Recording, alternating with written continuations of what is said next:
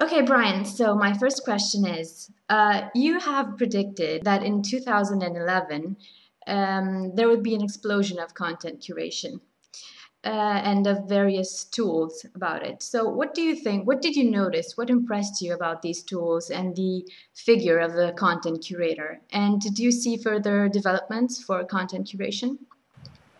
Content curation has experienced tremendous adoption this year uh, and will continue to do so in 2011 as the tools become easier and also, uh, what's the right word, more glamorous to use, where they actually present data in a very readable format for the people who are following those people who are curating.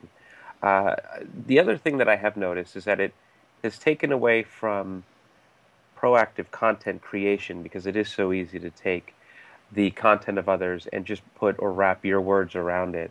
But to what extent that has had an impact, I'm not sure. But it is profound because it does allow, for example, the formation of not just curation uh, based conversations or engagement, but curation based interest graphs. So, for example, you and I have interests in technology, maybe new media, mobile media, and the content that I curate uh, and that I put my impressions upon might have interest to you. So, therefore, our relationship grows stronger based on the content that I'm packaging to share with you. Extremely clear. I will thank uh, Giuseppe Mauriello for uh, for that question, and thank I'm going. You, Giuseppe. and uh, I'm going to go on with the following one, which is by Fabrizio Faraco, and it uh, and he asks. Uh, there are many services that measure influence, but what is, in Brian's opinion, influence? None of these tools measure influence at all. They measure social capital uh, as it relates to how someone might interact in Twitter, Facebook, LinkedIn, but it does not measure influence. Influence is not a word that can be manipulated by new media or technology. Influence is very clear in how it's defined. It is the ability to cause effect or change behavior. Klout, peer index, MBlast, you name it. They track sort of a standing based on their own proprietary algorithms of, say, you and me in a particular network um, and even even to that extent, some could argue that that social capital algorithm is incorrect, because social capital is something that's earned, and it's also spent as you interact, not just in digital networks but in real life. The true measure of influence is to test those numbers. So, for example, we see a lot of brands who that are giving away products and and uh, experiences to consumers who have a score of 50 or higher, for example. What does that mean? Well, as a brand, you can test that. You could say, we have 60% unawareness in, in the marketplace, and we would like to increase awareness. So we will do these things, and we will change behavior.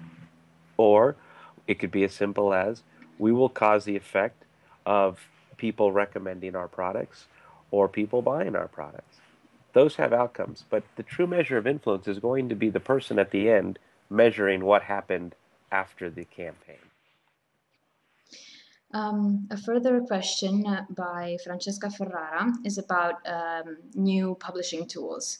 So the question is uh, the publishing startups that regard the birth of new online newspapers, what do you think are the errors that they should not do, and how could they enhance their business model? Well, that sounds like I could solve a lot of problems in one answer. I can tell you that I've talked to a good number of new media properties that are asking these very questions because they are taking quite traditional business models and packaging them in a new format. Uh, and also not just a new format, but in terms of how they structure their uh, their employees. I'm actually asked this question quite a bit, and I've worked with a lot of new media properties to help them solve uh, the business model questions and problems for the future. It's it's ironic that many of them actually begin with traditional business models in terms of how they monetize their properties. Uh, but what is noticeably different is how they're structuring uh, their employee framework uh, and the types of monetization strategies that they're considering. It's really interesting how content becomes a play here where original series, um, engaging types of um, experiences uh, become monetizable. So you don't necessarily have to sit there and, and watch a, uh, or, a pre or post roll ad on, on a particular content or have some really horrible island come floating over the content as you experience it so that you have to be forced to go through this advertisement. There are ways to create an experience that people will enjoy. Uh, it just takes, I don't want to just say creativity, but it also takes a way to make people feel like it's worthy of, of, of engaging, right? So let me, let me put out a, a challenge to anybody creating a new media property we live in an era where people can skip ads, whether it's on television, whether it's online. If you look at any heat map study on where eyeballs are focused on the screen, it's never on the advertisements. It's always on the content. So, what if you made the ad worthy of engagement? What if you made the advertisement something that was so compelling, something that was so fascinating that it not only sucked you in, but also made you share it? that's what the future of this is all about. It's not just about consuming, it's about sharing. And we live in a world where sharing is, is actually taken for granted. We have the ability to share content, and we don't appreciate the ability. This is, goes back to our question about curation earlier. We don't appreciate the ability to actually package these things and share them with others in ways that actually improve our dialogue. Advertisement, monetization, these are all things that can be part of it. We're just not thinking about it that way. Old Spice did a great job in terms of making commercials that were so fascinating, so funny that it was worthy of sharing. Evian roller babies. And these are just two classic examples of what are basically advertisements. But what if you made original series out of them? What if you made them something that I I had to share with you because it was so fascinating. It's a difference in methodology and a difference in philosophy, but those can be monetizable and those can be packaged and sold. Okay, so I have a few further questions from other readers. Uh, one is Roberto Favini, who has quite a few questions for you. So the first one is, uh, which skill or role is now lacking in uh, media companies?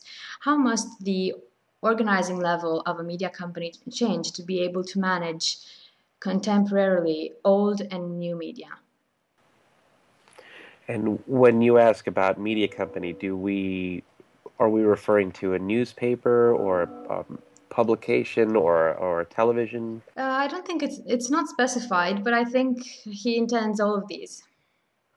Well, you, if you think about it, they are those they are amongst what I call digital Darwinism. They are the greatest threatened types of industries in digital Darwinism. And digital Darwinism is when consumer behavior, um, technology, where all of these things start to evolve faster than your ability to adapt.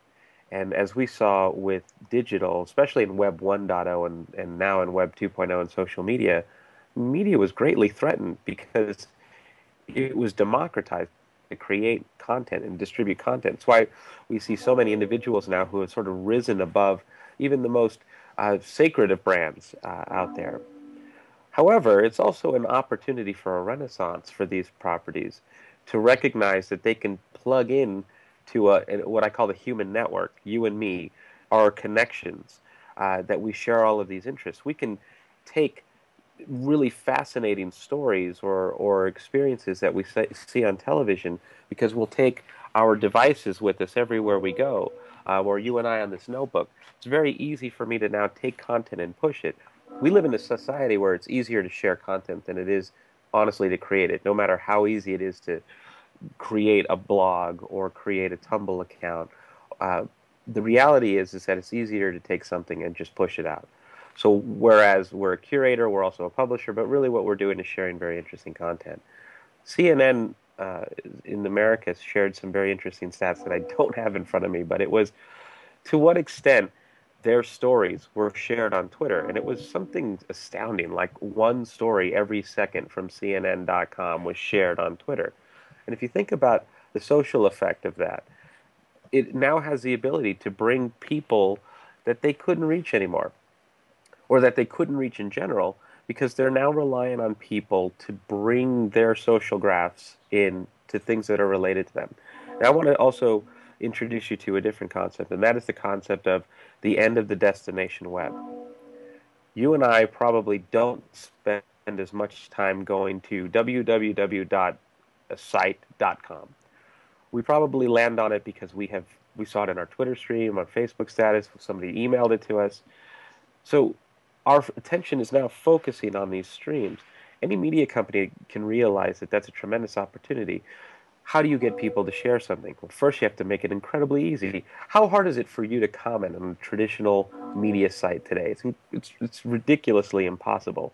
Proprietary networks register your name. I have 65 accounts on 65 different media companies when I could just click Facebook or Twitter or something that I use today to make it a lot easier this is something again that has to start from the top that we recognize that this is a new opportunity and to what extent that we embrace new technology in a way that not just stops digital darwinism but also gives us an opportunity to embrace new business models. This has everything to do with the people running these companies not actually using any of these new technologies themselves. I believe leadership is something that has to be earned and we will not I, I hope that we'll see a great revolution in leadership before we'll see the demise of some of these great media companies. Um, one further question is uh, the following. In 2012, will we see co creation as the evolution of social CRM? That's a very interesting way to phrase that question. No. Social CRM is a a series of processes, technologies, and methodologies for managing customer relationships. In fact, if we had to dissect that, more companies will place emphasis on the M for management than they will on the R for relationship. Co creation is an act, meaning that people, regardless of whether you want them to or not, are going to share their experiences about your company within their human networks. You have an ability to shape and steer those experiences, but many companies don't necessarily realize that they have that opportunity before them. So, for example, uh, I've done these these studies with with airlines, for example, where you could see if I were a I call them connected customers, people who are connected to one another through mobile devices, social networks, that will not go to Google to make a decision. They'll go to their social network before they make a decision. And they will ask, What should I fly? Which airline do you love? And the answers that come back say everything. And I take those answers and I create a word cloud to show what happens if I say, this particular airline, what are people saying about it right now? And it's astounding of what you will find. And those businesses don't even recognize that that is their brand in the connected consumerism world or the connected consumer world. So I take the website of that airline and I compare it to the word cloud of what people are saying about the airline, and they're vastly different, right? On one side, you might have horrible experiences. On this side, it's great, wonderful, innovative, leading, friendly. That's not co creation. Co creation first starts with the recognition of this world and trying to dissect or understand what is causing these experiences, and then starting to do something that fixes those experiences. That's co creation. CRM one day might recognize that this is something for not just uh, understanding but collaboration. But right now, it's about a process. You have a problem, uh, we're trying to sell to you these are the things that we know you've liked or that you have purchased before. They're not right now on a path for collision. Right now, they are on separate paths, and it's the work of people like me and others who are really trying to educate decision makers that this is a new world of which we're trying to compete.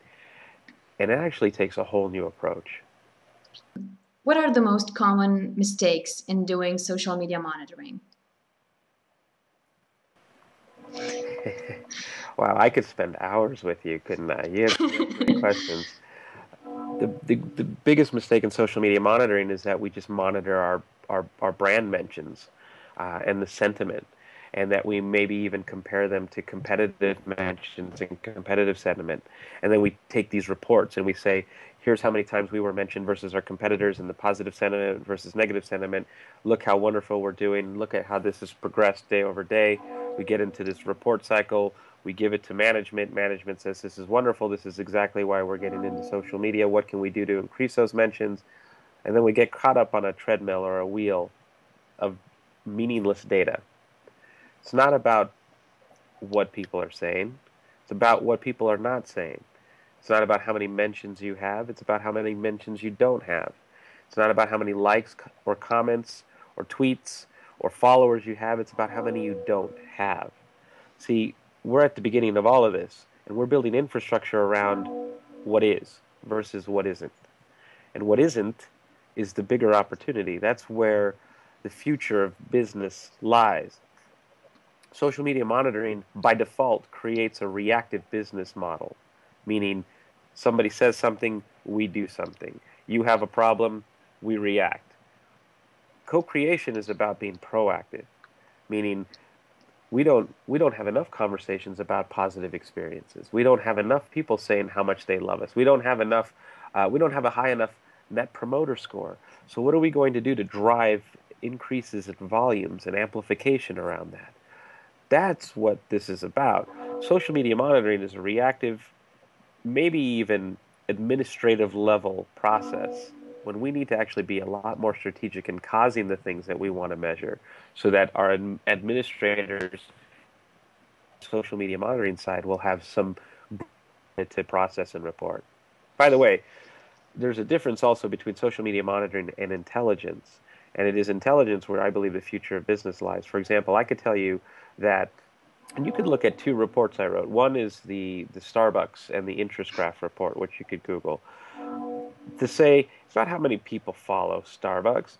It's about what is important to the people who follow Starbucks and how you can glean intelligence from what people are saying, what people are doing, even outside of the mentions of the product name.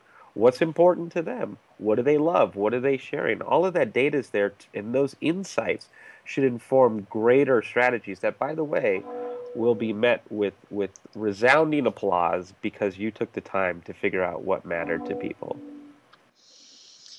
Okay, so one uh, last question by Stefano Mizzella is what are, in your opinion, the ingredients, the fundamental ingredients to go from a social media strategy to a social business strategy? And what are the obstacles that, based on your experience, block many companies along this way? That is a great question. Um, it's a great question because that's, that demonstrates that we're thinking in the right way. Right now, most businesses who are using social media are actually social brands.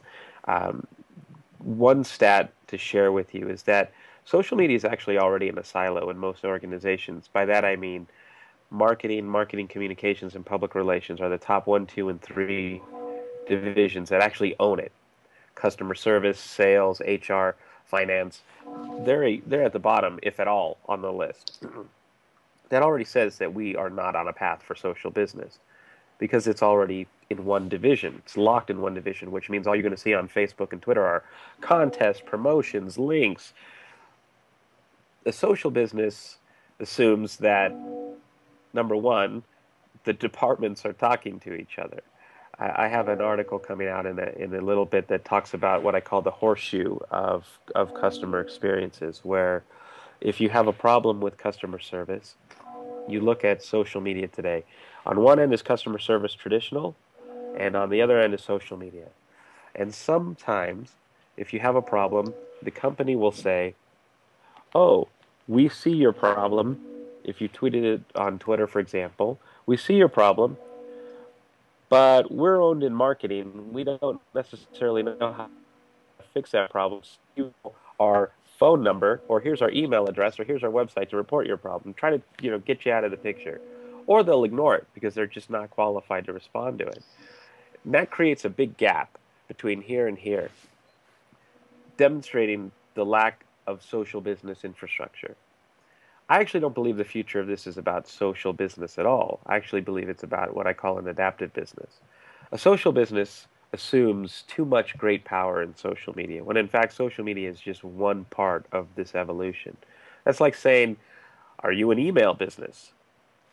Uh, yeah. You know, I suppose sales, use, sales uses email and HR uses email. Social media are just channels. They're channels that are wonderful because it gives you direct access to your customers, your stakeholders, your influencers. But it's what you put in those channels that matter. And it's how you work with the departments that say, we have this person who has this problem or who needs this resolution, and how we work together to use those channels to, to improve experiences. The thing that's missing in most businesses today is an adaptable infrastructure or a culture of customer centricity or a culture of one. And I say one because that we don't act as one company. We act as different business functions in silos. That's and that's okay. That's worked for a hundred years. But now the future of all of this is an adaptive business model where we could recognize trends and emerging opportunities and changes in consumer behavior, where we, we can change or bring about change within the organization so that other people who haven't worked together will work together to build better customer experiences. Then social media can be one of the ways that those customer experiences are fortified. I will say this, it's what my whole book is about right now. It's called The End of Business as Usual. The first half says, I think actually the first words are this is not a book about social media. This is about how consumer behavior is changing and how consumers are changing how they make decisions. And more importantly, how they influence and are influenced by one another. Do you know what I found? Is that there isn't any one type of consumer anymore. There's several classes of consumer, being this idea of a connected consumer. Businesses are good at trying to reach everybody. But how a connected consumer, how you and I make decisions, is not at all how our parents make decisions. It's not at all how our aunts and uncles make decisions. So why would a business try to reach us all the same way? The idea is that here's to what extent a connected customer is impacting your business. The second half is here's how you bring about change in the organization because that's the hardest part. I can't win with any executive with a social media conversation. I can't tell you Twitter is huge, Facebook is huge. Do you you have to believe me. We need to change our business. They're going to say are you are you kidding me? I don't use Facebook my kids use Facebook. What we have to do is just demonstrate by data, by trends. This is to what extent all of this is changing, and here's what we need to do about it. Here's how to build a change management team. Here's how change within the organization is going to be great. Here's how it's going to work for employees. So it's a bigger struggle, and it's not a struggle that's going to be one about with social media. It's going to be one because we understand who our connected customers are and how they impact the bottom line and what we need to do about it. My last question, which is my favorite question actually, is uh, what is the question that nobody ever asks you but you think is really relevant at the moment?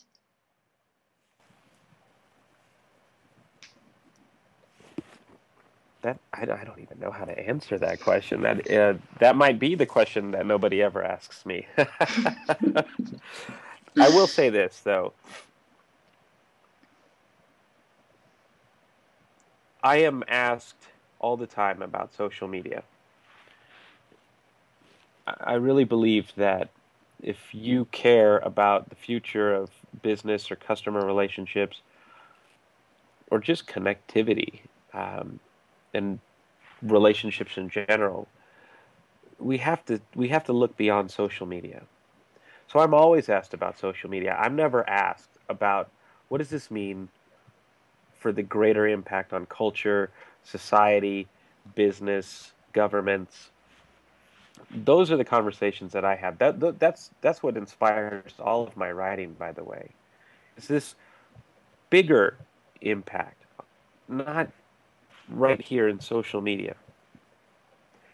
I, I often tell people, people who are very passionate about social media, I don't I don't want them to not be passionate it's passion that is actually driving innovation and transformation right now. What I would love to talk to people about is to look at life right now as this. We're at a crossroads. And on one path, you can continue to be a social media champion. You can look at the impact of Facebook and Twitter and emerging networks on your business and how to improve relationships with your customers, stakeholders, employees, using social networks. Somebody has to lead that charge. But it is going to be just one of the channels that a business is going to use. On the other path, that's the change agent. That's somebody who recognizes that all of this stuff, all of the lessons that we're getting from this side, is so important, so profound, that it's going to bring about greater change within the organization, but we're not ready for it. That change agent has to go and work with executives, has to work with stakeholders, and has to do all of the things that brings about change. It's a distinct path unto itself. Both are important. Which path are you on? I started on social media path. I have moved over to the change agent path because that to me is where we are really going to have an impact on how business view, businesses view customers, how governments view constituents or voters. It's how we just build better relationships that improve the experiences for everybody. Brian, I thank you very much for being with us today.